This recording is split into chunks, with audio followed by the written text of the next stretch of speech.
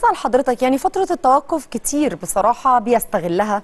بيبقى في ساعات في تغيير في بعض المدربين بيبقى في بعض النتائج غير موفقة. بعض المدربين بيستغلوا فترة التوقف إن هو يحسن من النتائج ويبتدي الفريق يقف على رجليه. وبعض الأندية بتكون ماشية بشكل كويس قوي ويقول لك أصل فترة التوقف هتأثر هتأثر على- علينا. النادي الأهلي شايفه إزاي في فترة التوقف؟ لا كان محتاج. هو كان جاي آه، كان واضح إن اللعيبة عندها إجهاد دخل في كذا بطولة ضغط بطولات ورا بعض. فاكيد الفرقة محتاجة راحة. عشان كده هم اعتذروا عن بطولة الرابطة. هو عايز يدي اللعيبة تاخد فترة راحة أكبر.